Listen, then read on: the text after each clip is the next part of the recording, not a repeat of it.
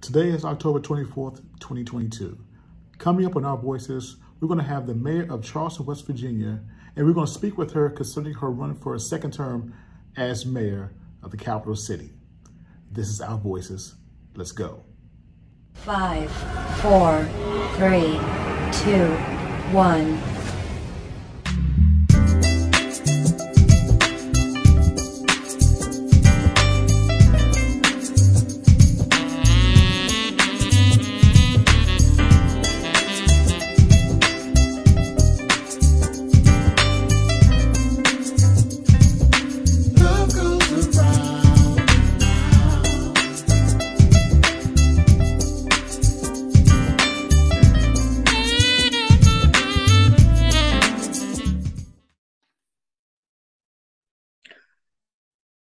To Our Voices. I have a special guest with me. She is the mayor of Charleston, West Virginia. She is the Honorable Amy Shuler Goodwin. Madam Mayor, how are you doing today? I'm wonderful, Ray. Thanks for having me on your show. Thank you for coming on. Thank you for coming on. Uh, I know it's been a long time. Um, actually, I've been, you know, we've been trying to meet up and everything. You've been pretty busy also uh, these past four years. Um, before I get to my questions, Madam Mayor, uh, please tell the audience who Amy Shuler Goodwin is. Gosh, thank you. Um, thank you so much, Ray. Thanks for always doing this show. I do watch. Um, I'm a loyal fan, and so I watch every episode that you post. So thanks for doing. Thanks for doing these shows. Um, I grew up in um, West Virginia. I am. My story is probably similar to so many folks who grew up in West Virginia. Uh, my mom was a school teacher and elementary school teacher. My dad um, was a teacher as well, and then he started a small business. Um, I have a sister, and we spent most of our time, our nights, our weekends, and holidays uh, in our store. Uh, my dad is a small business owner, as I said, and we've just spent a lot of time um, with them in our family business. And if I wasn't at work stocking shoes or running the cash register, I'm an excellent, excellent, excellent uh, clerk. Uh, when you start at 11 years of age and your dad tells you get on the cash register, you're really good at it. So it's a skill set most people don't know that I have. Um, we spent a lot of time with my grandparents, uh, Thais and Albert Blatnik, and who spent a lot of their time in education. My grandmother, Thais Blatnik, was one of the very first female um, senators here in West Virginia. She was um, it's where I get my height, my towering height. She was four feet, 11 inches tall, Ray, but she, um, she made her presence known and she fought for women and children with exceptionalities. And um, I think about her every, every day. Um, I graduated high school. I was that kid who did every sport. Um, uh, we just were a sports centered family. So I played basketball and volleyball and softball, and I actually even played on the men's golf team when I was in school in high school.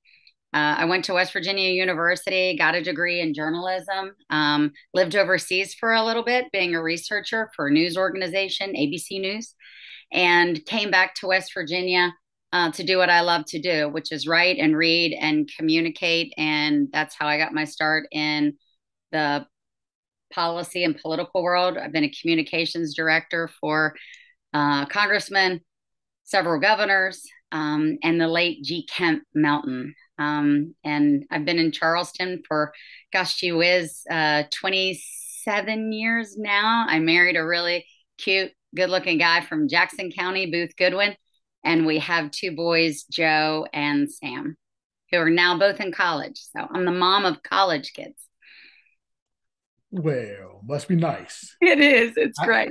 I have one. I have one, you know, one's in two years. I know, I know, I know. Beautiful. You have beautiful babies. And really, they're the reason why I ran four years ago. Um, plain and simple. It sounds like I'm re- reciting a bumper sticker or a campaign slogan, but they really were the reason why I decided to run years ago, Ray. Um, I just didn't like the direction. And having been in politics for so long, um, I sat down with Booth one night and said, I think I can do this. Uh, and he said, I think you can too. And so we didn't know, but four years ago, I became the first female mayor of the city of Charleston. And even though it has been a really trying four years for not only Charleston, but the nation going through a global pandemic, I have loved every minute of it. I really have, even in the even in the difficult times, Ray. Madam Mayor, you you you chosen the path of going into politics. Um, you have turned this city, uh, I mean, upside down for the good. We've, Um, we've tried. we- Yeah, you We've we've tried, Ray. uh, of course, when it comes to uh, politics, you know, one has to have an agenda.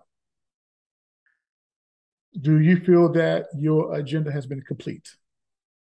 Well, they should, you know, I'll say this you should have an agenda, you should have a vision, and you should have a plan. And if you don't, you shouldn't run, period. You know, people say all the time, well, a couple things you need before you run you need money and you need connections. No, actually, you need to have a plan and you need to have a vision and you need to have an idea of at least what you're going to do. Um, and you have to be flexible uh, and malleable that things change in government. You you know that in our in our community. So yeah, we came in with a plan, and I say we because I am one of 775 employees in the city of Charleston. I'm just one. I get to be mayor, but I am a member of an incredible team, the youngest and the most diverse team ever in the history of the city of Charleston. And I truly believe, Ray, that's why we got so much stuff done. Um, we hit the ground running. Uh, we settled up a $3 million deficit in our first year. Uh, we have created, which we really don't talk about a lot, and I don't know why we don't. We have created the largest rainy day fund ever in the history of the city of Charleston.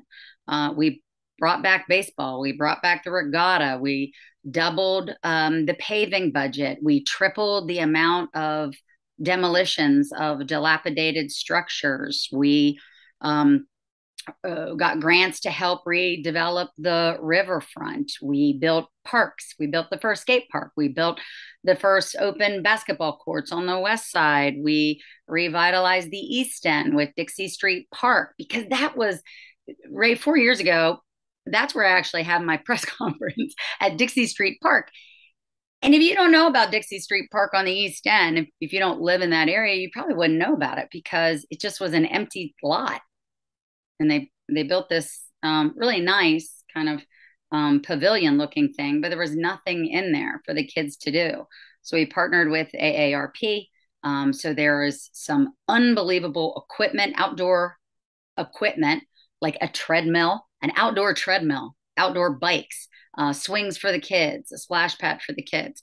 But our our focus has always been um, on kids because when I ran uh, the first time, I walked to eleven thousand two hundred nineteen doors in every zip code across the city, and everybody said, "Do something for our kids." Almost at every door, maybe not every door, Ray, but you know, at least every other door. It was do something for the kids. Um, we've turfed 10 fields. We're spending $8 million turfing fields, um, giving them a good, safe place to pay. We, we built the first skate park, uh, as I mentioned. Um, and that actually, if I can, Ray, came from a conversation that we had on the West Side. And it came at the Second Avenue Community Center. I, I feel like you were there, but um, there's so many of our community members that came out because the kids said, We feel like we're not being listened to. And we said, You know what? You're right. All the adults, you be quiet. Stop talking.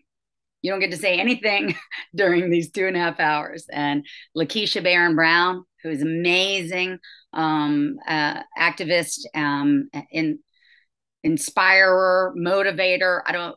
She's the person I call if I really need advice and counsel. I call I call Lakeisha Barron Brown and Leisha Lee and Hollis Lewis and there are a whole bunch of other other folks. I'm sure I'm going to miss somebody, but we called it a teen town hall. And out of that teen town hall, those kids said to us, "You know what? You you you you say you support us, but why don't you do something for us?" We said, "Okay, great. Like what?" And they said, "Build us a skate park." We're like, "Um, oh, okay." That's how the skate park came about, literally, from that teen town hall on Second Avenue. And don't put it somewhere that I can't get to. Okay, heard you. Uh, get somewhere where I can walk to or bike to. Um, it's the busiest park we have in the whole city, Ray. Busiest park we have. That's, So- that's wonderful. That's that's great. Yeah. Madam Mayor, um, you have turned the transit mall into Slack Plaza. Yeah. Describe the vision and and, and who planted that seed of building Slack Plaza there. Well, I ran on it as a way to not just spend city money, but invest in the city um, and in every area of our city. Um, so, Slack Plaza, um, City Center, we call it City Center at Slack Plaza, has been talked about. Gosh, gee whiz, for how long? Um, when we when we got here, a brick had not been replaced in like 20 years. Um, and we just said it's if you look at Charleston from above, right, in these 33 square miles, but if you look at downtown Charleston, city center is in the middle of the city. Um, and it connects so many of our wonderful resources, right? The Capitol, Clay Center, the market, um, the $100 million renovation that was just done at the Coliseum and Convention Center. You've got Haddad. So downtown, if you look at it, and you have to have a thriving downtown to have a thriving city. You you have to. I mean, the meat and potatoes of our business community and our traveling public, they come to downtown first. We live in our neighborhoods, right? Our communities all around us. But what can we do to inspire um, more development? And so we spent uh, $3 million of city funds on that park. And I remember, like it was yesterday, so many people saying, well, you're building a park. You think that's going to turn the city around, Amy? Well, no, it's not going to turn the whole city around, but you have to invest in the right places at the right time, right? And so what we did uh, was we did that. And since then, Ray, we've seen a return on investment of close to $50 million just in that area because more people are buying up those buildings. Um, they're starting restaurants. I mean, Dem Two Brothers is just getting ready to launch here soon. Um, Nancy Bruns with JQ, the JQ Dickinson Salt family just bought, you know, huge apartments down there, renovated them. They're beautiful. Uh, the Greater Kanawha Valley Foundation, under the leadership of uh, Dr. Michelle Mickle Foster, um, has landed in that. Fife Street Brewing. And when we went to these folks who said, We're thinking about moving down here, Amy, we're thinking about investing. I said, Well, here are the plans that we're going to, you know, implement in City Center. And so you have to have community buy-in to do something, but you can't just build a park and then sit on it. So it's a it's an area that has had tremendous growth um, because we invested in a park but so is the east end and so is the west side and so when you when you make those right investments um, in the right locations you know good things happen A certain individual on social media posts different pictures of what Charleston was like back in the day. Uh, the initials are JT. And they mention about how businesses were thriving back in the day where you know folks would shop and and, and, and do what they got to do, buy what they want to buy. And it's gotten to the point where it businesses just ran away. But now you you are reversing that and bringing it back to where it's more more foot traffic in, in, in, Charleston. Like I said, more more options uh, and more restaurants. So i'll say this about I'll, I'll say this about the the small business we you know again i go back to the i go back to the beginning ray I, I grew up in a small business and so i know how I know how hard it is for small businesses, which you know, everybody says, oh, it's the meat and potatoes, it's the backbone of our economy. They're not kidding. It is. Um, but when is the last time somebody came in and said to a small business, hey, they never did with my with my with my family business, hey, you're doing great. Every single time we come and ask you for a donation for the little league, can you sponsor their team? Can you do the shirts? Or can you, you know, give somebody a free golf bag at this charity golf tournament? You know, we never turn them down. When's the last time they came in and said, How can we help you grow your business? What can we do to help you?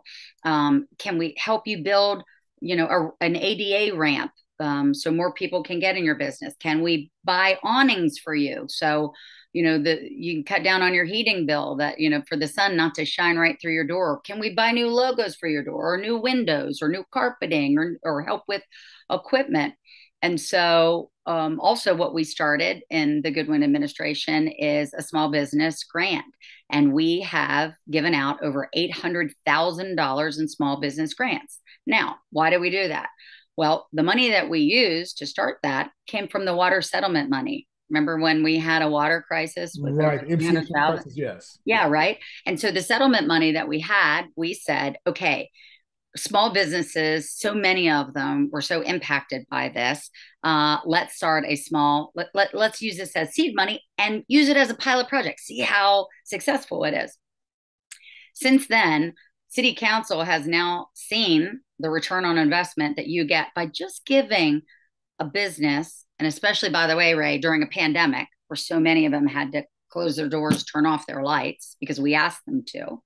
Um, so many of them struggled. It could not have come at a better time in that it's so successful that we're now getting council to uh, approve that as part of our budget. So it's a it's a project that we started, um, but one that we think will help small business um, but we have more small businesses opening up in the city than we've had in two decades. So I'm really proud of that. Madam Mayor, one of the things folks are mentioning about was wanting a grocery store on the East End. Yeah. There used to be one, uh, I think almost 30 years ago. That's right. Uh, and then they, they moved out. Um, there was a Kroger. There was a Kroger there, Ray, because I used yes. to shop there. Yes. Uh, I'm sure some residents want to know um, is it possible to have another grocery store on the East End?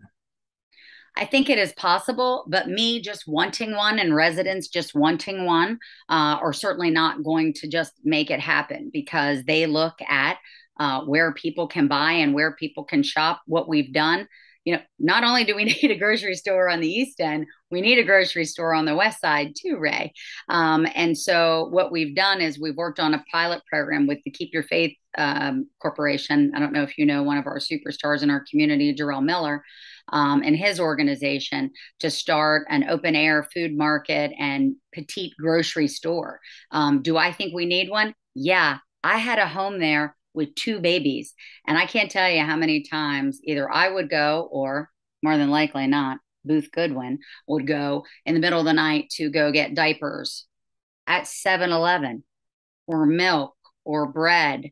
And let me tell you, the cost of buying, um, you know, those types of necessities at a convenience store are far and away more. Do we need one? Yes but it's going to be a long-term project. That's that's for sure. And we have to have the need um, that's there. And what that is is creating more housing opportunities. You know there's a couple developers right now that are looking into building and buying more housing on the east end. That is helpful because when developers look at building um, places or establishing um, uh, uh, markets uh, they look at the population and they look at the traffic. So it's a numbers game, especially for national organizations. So, and I know some people are saying, you know, we need one, we need one, and maybe you, maybe you're just going to have to explain to them the numbers and just, I, hate to say this, uh, dumb it down, and not trying to insult someone's intelligence, but kind of spoon feed them what you're saying, which, which, which why, and why is a long term project. Uh, Madam Mayor, you you brought back regatta. Gosh, that was scary. I, I, you, you, oh, I'm, I'm, I, I, haven't got to the hard part yet. The, the questions. It's coming. Good. You brought back regatta, and yeah. regatta came. No, regatta was scary. Bringing it back was scary, Ray, because we were nervous when we said to our senior staff team, "We're going to bring it back." Everybody said, oh gosh, I hope it's as successful as it's been in the past. I mean, you know, bring it back was not an easy decision especially after a pandemic. So i know you think this is an easy question. It was it was a uh, leap of faith right? Uh, it was saying to the charleston community okay y'all you said you wanted this back. Support this. Let's let's give it a go. Let's see what happens. Um and yeah you're right. It it was beyond our wildest dreams 31.5 million dollars return on investment is in, is insane i didn't think that i honestly did not know it was going to be that successful we're thrilled it was crushingly hard on so many people but it was fabulous I mean, I saw the pictures. you didn't come to regatta I did. Yeah, I did. okay I, yeah, I saw the pictures also, and I mean, I'm thinking when I first came here to West Virginia, and a couple of people said, "Let's go to Regatta." I never knew what it was, and when I saw it, I was like, "Whoa, okay." yeah And then because there was a break where I guess they stopped, they stopped with Regatta because right they, they said that the violence and, and, and the drinking and, and what have you. But again, but you brought it back with the vengeance, and again, you have and there was not one arrest during the entire four and a half good. days not one that is good. That is good. Not one Um, because it was a four day, three, four day event, yeah four and a half really four and a half. Are you going to push it to a seven day, week long event? No, no, no. Just because something's good doesn't mean, you know, it's like it's like makeup. More is not more. You don't need more sometimes. Sometimes you need less. More is not more.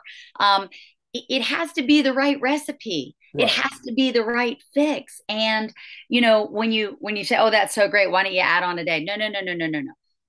This came back as a pilot project to say, "Can we do this?" The answer is yes, we can. Right, right. The answer is yes but slow growth. And I think we hit the right mix. As a matter of fact, I went up, I was at a high school yesterday, and I was talking to kids, and they loved it. They loved it. They loved it. And they said, We can't wait to bring it back. Please don't move it because it was really great because we never have anything to do during Fourth of July. And a lot of our, you know, a lot of people stay here for Fourth of July. People tell me all the time, "Oh, that's a bad time. Everybody vacations."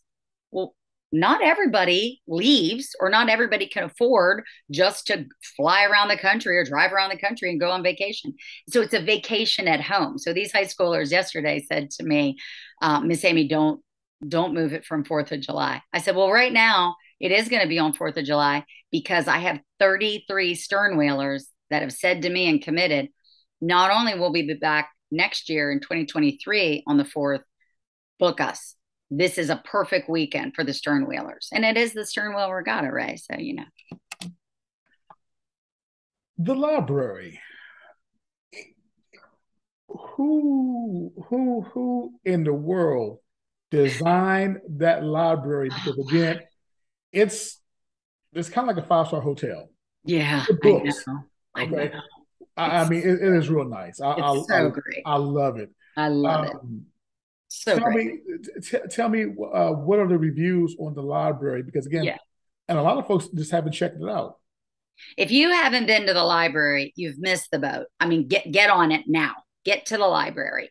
Um, it's I asked that question of the kids yesterday too, Ray, and they were like, "Oh, we love it. It's so much fun." Because here's the other thing that our kids, you know, what our kids want, Ray? Our kids want exactly the same thing that you and I want.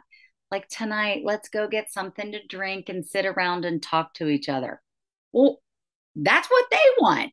And they want fun, bright colored chairs and nice lighting and beautiful. They want the same thing you and I want. And so the library gives that to them. You've got me a cup of there. You can bring in your own drinks and they sit around and you get this great independent feel right if you're in high school.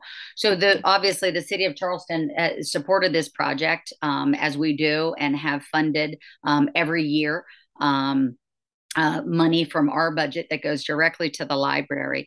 But kudos to Pray Construction, kudos to uh, Monica Janison and Tom Haywood and all of the folks that really helped build that library. And I will also give credit where credit is due, their executive director.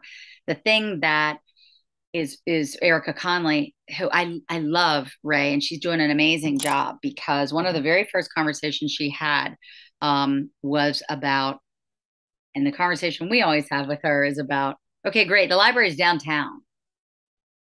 Can everybody get to the library? Sean Hill does a great job. KRT system, fabulous. Great transportation system. How are the kids from Kanawha City or how are the kids from the West Side or how are the kids from South? How are they all getting to the library? Because I know my boys are a little older now, but when they couldn't drive, how are you going to help them get there? And so transportation, we could do a whole show on transportation, right? Because I think transportation is the way to freedom. It's the way out of poverty. It is the way out of bad health. Transportation and access to good, reliable transportation. We, you and I could do a whole show on that.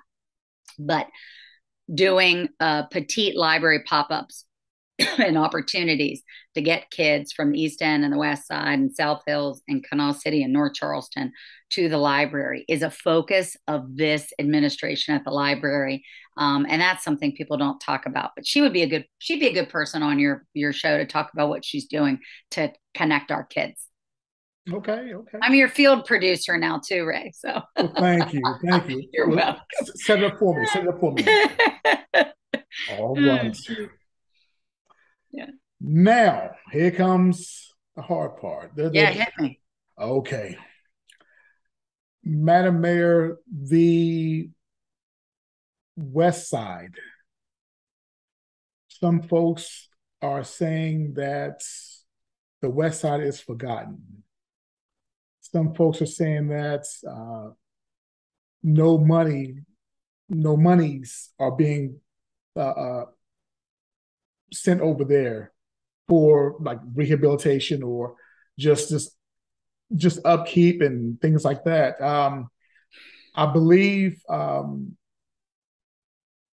uh, Buford, I call him Buford, but you know, Big L. He uh, he mentions about, well, someone said about wanting streetlights in his neighborhood. What do you say about that? Yeah. So I say that there is absolutely no question about it that the West Side has been neglected for 25, 30 years, but not under this administration. Um, and that is because not only did we double paving budgets and efforts, um, we have torn down 400 dilapidated structures over the past four years, Ray. 400. Far and away, the majority are on the West Side. Want to know why? Because it wasn't done because we allowed dilapidated structures just to sit there. Um, doubled the paving budget. When I got here, you know, the West Side wasn't on the paving list. And we said, why? And what we were told was, well, it's the flats. And we normally salt and scrape the hills. And there's those are the roads that don't really need um, major up, uh, upkeep and upgrades. Now, every single ward, and we have 20 wards in the city, all get a paving project every single cycle. What's significant, I think, about when people say money isn't being invested on the West Side, then sit down with me and let's talk about the numbers. We just had a great meeting um, with a lot of folks from the West Side two weeks ago, actually at the library. It was super fun. Um, $10.5 million. The majority of our American Rescue Plan funds, $10.5 million, just this calendar year went to the West Side, far and away, more than any other area of the city. Because there is there are so many disparities there's so many issues that we have on the west side and you're right. It's it's uh you know i always use the analogy that you know you're more than just a court low. Um, and when we get complaints in our office of you only spend money on the west side and you only spend time on the west side it's because the west side has been neglected the longest so your your viewers are not wrong. Um, but over the past four years that has been far and away a different story and we have the numbers and the investment to prove it. And it's not just about dumping money into the west side. It's about making strategic decisions. Um, no other area of the city got a brand new park with brand new basketball courts and brand new um, playground equipment which is on back order because everything is on back order right now uh, our, our new beatrice street park. Um, we're working with aep it takes a long time to do an assessment of six thousand lights. But we did every area of the city. Um, do we have a long way to go? Oh my gosh, we have such a long way to go in so many different areas of our city. Um, but I take exception to that because I'm really proud of the work that we've done on the West Side. And I know this as sure as I'm sitting here in my home office chair, Ray. I spend more money, more time, more energy, and we spend more effort on the West Side than we do almost every other part of our city because it needs it and it is important to us. And I feel confident about that. And I will challenge anyone um, and work with anyone and talk to anyone about the efforts that we've made on the West Side. Madam Mayor, uh, when you first started your term, it kind of started on a on a rocky note because there was an incident on the west side with Charleston Police. That's right. And you had a town hall meeting at Emmanuel Baptist Church.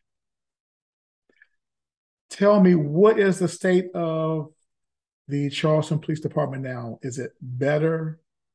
And how much better?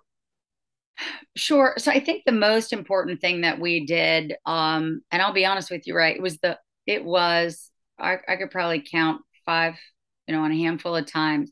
Um, some of my hardest nights um, in the city of Charleston as being mayor. That was one of them.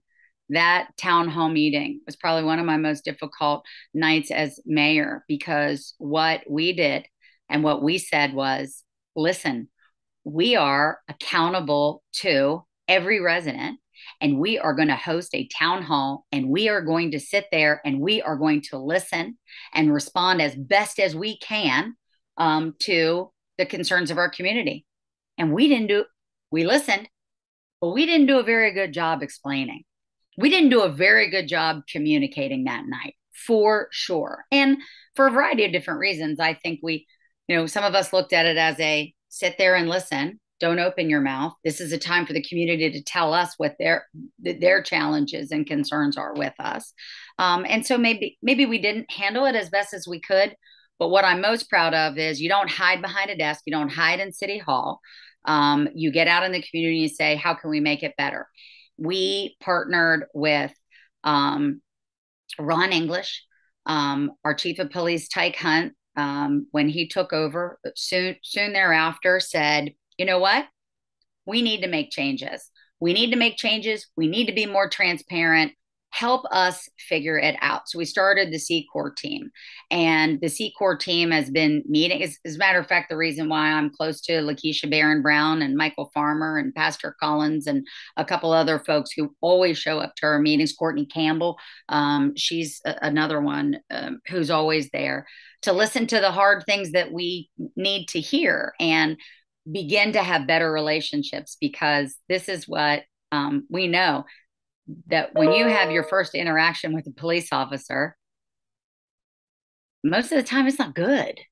It's it's just not good. And so how do we improve that? And so we started a mandatory emotional intelligence training um, and we worked with reverend english on this and it has been absolutely and errol randall and um, a lot of other uh, officers that we have, and it has just been amazing. It's been really hard to take. I even took the test and even went through the training about um, implicit bias and the bias that you have. Um, and so many of us honestly took it and went, oh gosh, I go, I think that I don't have any bias. Oh, yes, you do and you need to be better about recognizing them and how you respond. And so we all went through um, that training and that program, as all of our officers do. And our officers would tell you far and away was it hard? Yes. Am I a better officer because of it? Yes. Um, and it, you know, when you do self reflection, um, it doesn't matter what you're self reflecting on. Oh gosh, why am I not losing weight? Oh my gosh, why am I not you know uh, having better results with my relationships or with my work it you have to look inward because you are you are half of whatever that equation is right? You are half of whatever that equation is. And i think that um, since that time we've gotten better. Are we perfect? No. But have we gotten better? Yes. And this is this is what I know. And again, it, it sounds like it's just a, a bumper sticker saying, but we have really good people that really want to do the right thing. Always we want to do the right thing, but we're humans and we make missteps and um, we, we, second guess ourselves or we question ourselves, and that's okay. Um, but I do believe that far and away, Ray, we are good people here in the city that want to do uh, want to do good. We really do. Two more things, and I'm to uh, let you go.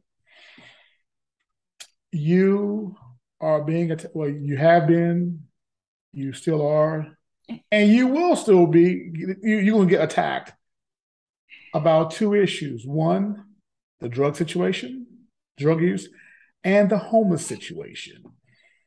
Madam Mayor, I have defended you oh, thank you. Time after time because, and folks don't want to hear this. And again, when it, when it comes to politics, I will argue, debate, and make my case, and I'll, I'll prove my point a lot of folks are saying that you haven't done anything about the homeless situation.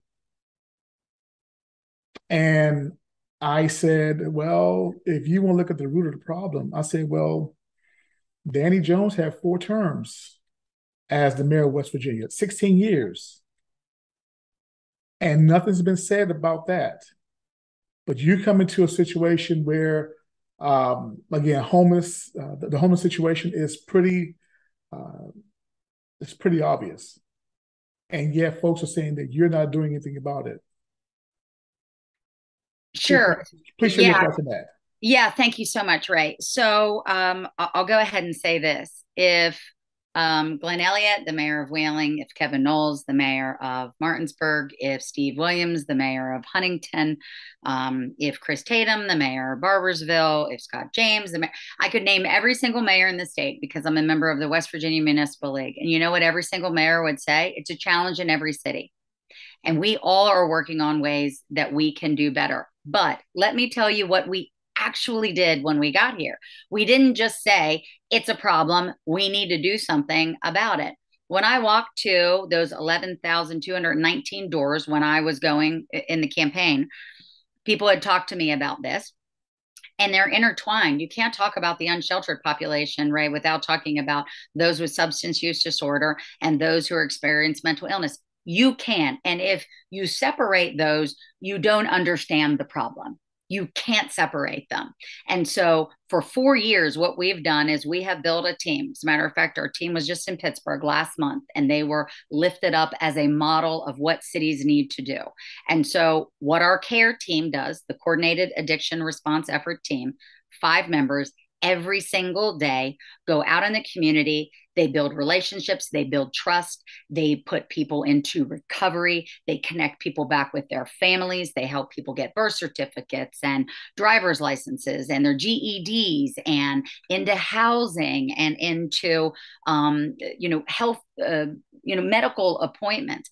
I'm more proud of our care team than almost anything. And people will throw stones all day long. But again look at the numbers. There are fewer unsheltered people in the city of Charleston than in the past decade. That's not my opinion, Ray. That's just a fact.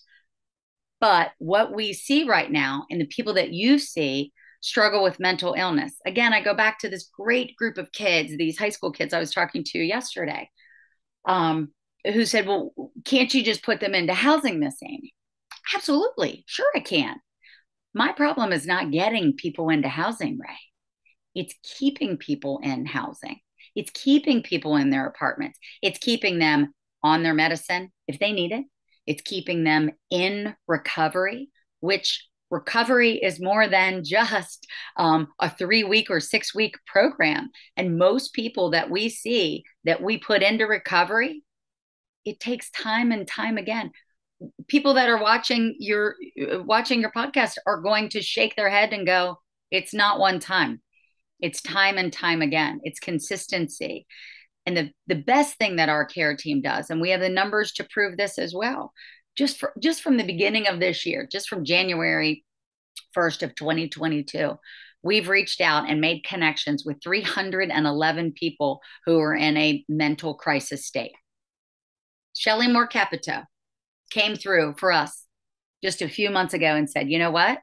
You do need help with mental mental health. And so she gave us a million dollars to help us with our crisis intervention team to help those who are suffering. So I'll give credit where credit is due. But it's hard, Ray. We put in the hard work every day. So people people may criticize or people may throw stones. That's not what I'm interested in focusing my time on. My time is focused on Kevin and Taryn and Danny and our entire care team that are out there making connections. We have so many people that are in recovery right now. That's what we should be celebrating. You know, Ray, nobody ever asked me about that. How many people have you put into recovery? How many people have you put um, into um, assistance or reunited back with their families? 189 since January. 189 folks back with their families. Those are the numbers that I focus on. Is it a struggle? You betcha every single day. This isn't an issue like me paving your road, Ray. I can pave your road tomorrow. This is a long term problem that's impacting everybody. We have a five year strategic plan and it's working. Slowly, yes. We take one step forward, we take three back. But what I'm proud of of this administration is that we addressed it and we're working on it. And it is the hardest thing that we do every single day, but we're making progress. And that is what is important. Where do we stand on the the drug use? Because um, Pastor Collins made a comment uh, a while back that um, he found needles and feces on his on on, on church property. Where where where where do you stand on that? Um, how how far along are you coming along with progress and and and curbing the drug use?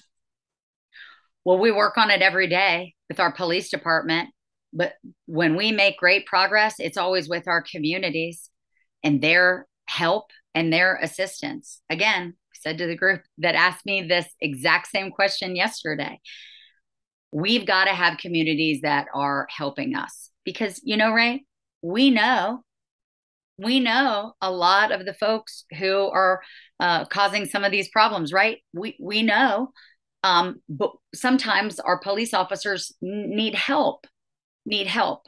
Um, i don't want any drug dealer in the city of charleston and it is always our focus but our police officers sometimes need help from our community members but every single second of every single day, we have a team of folks that work on it from our police department. But police can't solve all of our problems. And I think we all know that, right?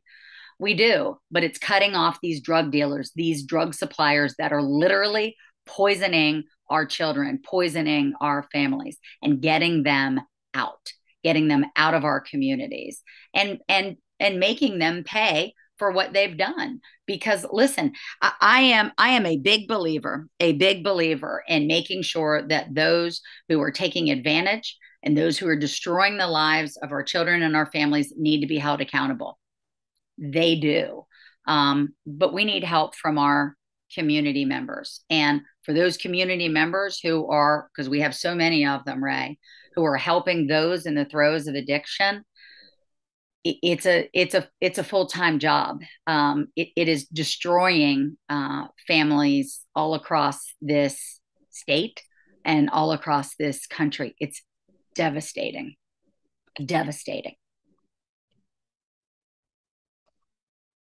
I just got a text message.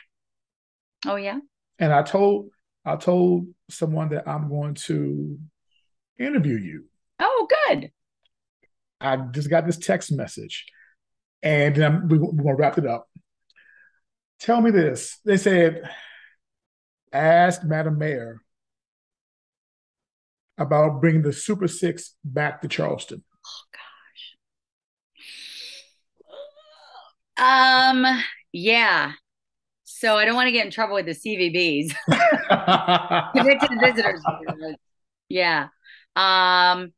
Gosh, she whiz. I know I know this to, well I know this cuz I'm a former uh, commissioner of tourism for the state of West Virginia. You don't want me to lose basketball, Ray. You want me to focus on basketball. I promise you you do. You don't want me to lose that. Can we compete for the Super Six? You better believe it. But what we're talking about is tourism and travel and sports tourism, right? There is great money in having basketball stay in Charleston, period, end of paragraph. And you have to look at the numbers of people that are coming in and how long they are there. Is it worth it for us to get and invest in getting the Super Six? Yeah, maybe, um, but not as much as keeping basketball. Um, can we go after it? Yeah, we can. Uh, but there are a couple other things that I think that we need to have and we need to go after. Again, you're going to get me in trouble now with every CVB who's going to say, I'm coming after there, I'm coming after their uh, sports competitions. Yeah. But there are a few others that I believe for the city of Charleston that would have a greater benefit to be here than the Super Six. That's just, that's from a tourism and a finance hat and the return on investment uh, for every dollar you spend, what am I getting back? Um, basketball is far and away number one, but there are a couple. Track uh, is one. So we don't want to lose that because we now have that back. But there are two others that I have my eye on that I think could provide a greater return on investment. Okay. One last thing, and another one popped up, and I, I promise I'll let you go. It's okay. The the the sports complex. Yes that at, at the Charleston Town Center Mall. Yes. That is t- a lot of people are saying that that is by far wonderful. Yeah. Some are saying, what about those kids that they're not able to afford to get in?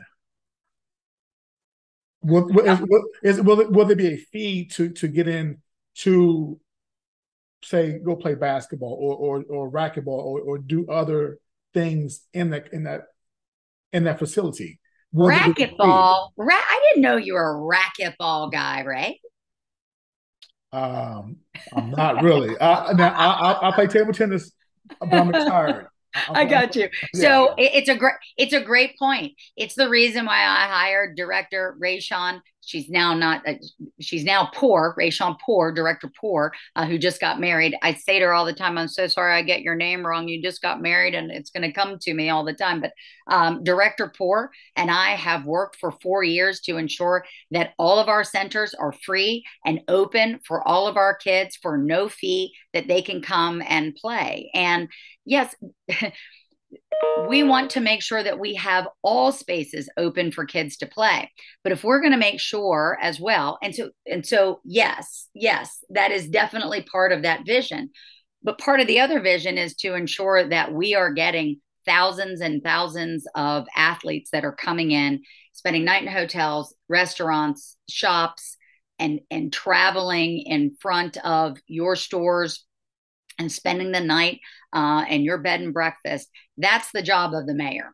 The job of the mayor is, yes, to take care of our local kids. I'm spending $8.2 million turfing 10 fields that kids are going to start in two, two, well, Monday. So three days um, to start playing for free all the time. We are spending millions and millions of dollars to make sure that our kids can play for free um, in top quality spaces all the time. Uh, but part of the mission of this Capital Sports Complex is to create a national level um, facility that I can bring in. Yes, for our kids to compete in, but also to bring in these national tournaments so we can have a tremendous return on investment as well. Because sports tourism industry in 2019 was just like an 18 billion dollar billion with a B it now is in 2022 a $40 billion industry that we're not getting any piece of that pie at all. So, yes, it is about for sure making sure that our children have a state of the art, great, safe place to play. But if we're going to get a piece of any of this industry and getting people to come to our city, people say all the time, Amy, we need more people coming in our city this is a $40 billion industry that we're not even getting a taste of. So that's part of our main focus of the Capital Sports Center um, as well. All right. Now, see, I'm done. No more questions. No more questions. Well, thank you. Thank you for having me and thanks for doing this show. As I say, I watch all the time and I always learn something. And you are such a fabulous and gracious host, Ray. So, and a great person. I can't let you go just yet. Oh, no. I'm going to give you two minutes. Two minutes to to to give your final words and thoughts. If there's anything that we haven't talked about, you you feel free to jump in and and and, and say it. And please tell the viewers why they should vote for Amy Shuler Goodwin. You ready? Yes. Go. Okay. Thank you. Well, you know, four years ago, I made a commitment that I would work every day, that I work work seven days a week, 24 7. And I have. I think that elections are an opportunity, just like we do every year, some of us do in our jobs as a performance review. This is a job interview. An election is a job interview for me. Look at my performance, look at what we've done. We don't just say it, we do it. I really feel good about what we've done. Yes, we have challenges. Yes, we have a long way to go. But what we've done in four years through a global pandemic is something that I'm extremely proud of. We have worked every second of every single day. You know, this isn't a retirement job. It shouldn't be seen as an end of your career job. I say that all the time. I couldn't do this job 20 years from now, 30 years from now. And the city of Charleston should expect and demand and vote for somebody who's going to treat it as such. This should be a dead sprint. The position that you put me in should be a dead sprint. I'll sprint for another four years and then I will pass the baton to the next sprinter. But we've never required that of this position, and we should require that of this position. Because if you want to turn things around, if you're going to build and you're going to develop things like reinvesting and developing the riverfront, building a $100 million sports complex, revitalizing um, the west side, an area of the city that needs help the most, and the east end, which needs su- substantial support it's a sprint. This isn't a marathon. This isn't a luxury time to take your time and make things up as you go, or when you get there, you'll see. We have incredible people, incredible directors, incredible personnel that work in the city of Charleston that I promise you, I promise you, as my mom likes to say, Ray, hand to the heavens, hand to the heavens. We have people that love this city. I love this city. Some days I'm frustrated. Some days I'm overwhelmed but our entire goal is to make Charleston vibrant. I said it four years ago, and I'm saying it at the end of four years. You have my promise that that will be our main focus is to keep the momentum going and to keep turning the city around in the right direction. And I think we're heading there. And so I would love to have uh, your support. Um, certainly, early voting starts in just a couple of days. And of course, election day is on the 8th. But also, just as important is know your city council people. There are 20 wards and there are six at large council members. Just as important, they get a vote just like I do um, when policies come in front of the public. So they're really important too to know who your candidates are in your ward and certainly know who your uh, at large candidates are because you can vote for six of them. Thanks, Ray. Madam Mayor, Amy Shuler Goodwin, thank you very much for coming out, Voices. You take care and be safe, okay? Thank you so much. Thanks, everybody. Yeah, hold on.